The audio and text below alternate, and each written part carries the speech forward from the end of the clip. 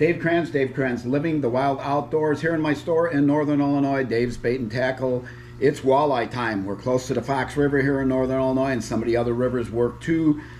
A lot of people are using a jig head for walleyes. The ones that are round are best for plastics. The ones that are kind of oblong or egg shaped are better for live bait. They even say they're a live bait hook. That's these are made by Lindy. They work great.